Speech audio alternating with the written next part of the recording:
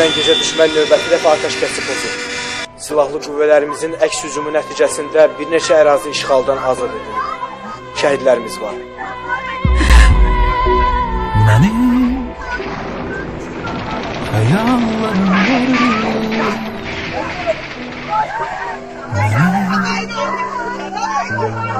Öz dünyam vardı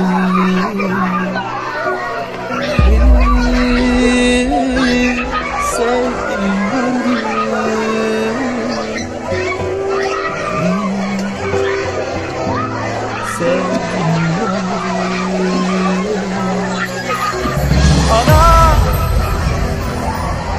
Ben şehit oldum. Yerim güzeldi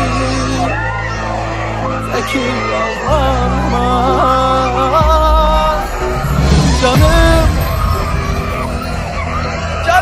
sevgilim Bağışla beni.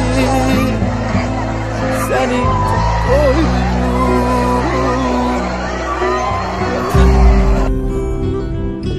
Vatan sağ olsun İlahi əsgərlərimizi qoru. Vatan,